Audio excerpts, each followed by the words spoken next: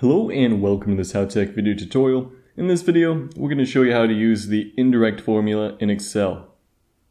So, basically, it's a lot easier to show you using examples what the indirect formula actually does. So we'll get started here. I've got a couple examples set up from Microsoft's help page. And we have rows of data there and our formula. So I just take that quotation out there to show you how this works.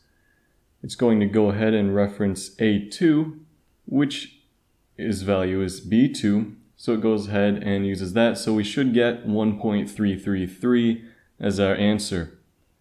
And as you can see, that is exactly what we got.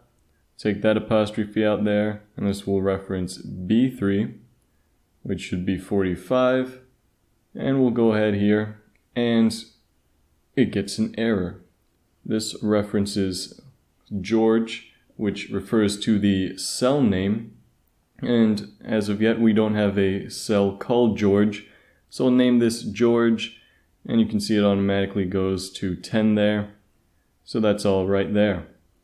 And finally, we can concatenate using the indirect formula.